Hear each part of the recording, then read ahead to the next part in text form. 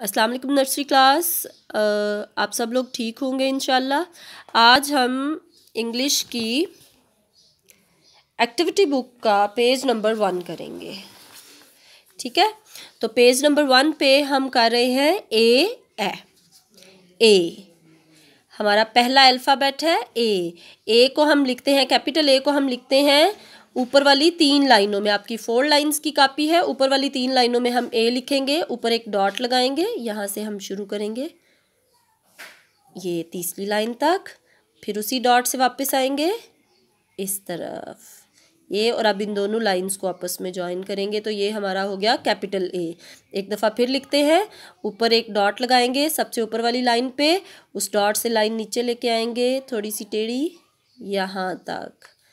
फिर उसी डॉट से शुरू करेंगे और लाइन लेके आएँगे नीचे, यहाँ तक।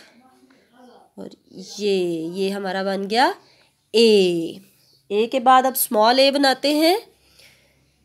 यहाँ से हम शुरू करेंगे, एक डॉट लगाएँगे। दरमियान की दो लाइनों में ये लिखते हैं तो ऊपर वाली जो लाइन है दूसरे नंबर की, उससे हम शुरू करेंगे। यहाँ से इसको हम घुमा के लेके आएँगे, वापस उसी डॉट तक।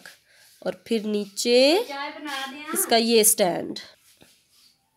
तो ये हम यहाँ से ले आए इसको वापस। तो ये हमारा बन गया स्मॉल ए इसको हम पढ़ेंगे कैसे? ए।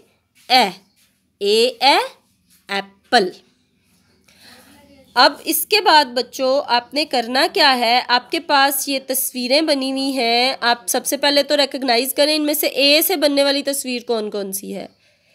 ए ए एरो ये ए से बनेगी. ए ए एंट ये तो केक है. केक तो ए से नहीं बनता तो हम इसको कलर नहीं करेंगे. ए ए एक्स ये बॉल है. बॉल भी ए से स्टार्ट नहीं होता. इसकी इनिशियल साउंड ए नहीं है. हम इसको भी नहीं करेंगे. ए ए एलिगेटर तो हमारे पास ए से बनने वाले हैं. A A arrow A A ant A A axe A alligator तो अब आपने करना ये है कि एरो एंट एक्स और एलिगेटर इनको कलर करेंगे। क्यों कलर करेंगे? इन सब की इनिशियल साउंड ए है।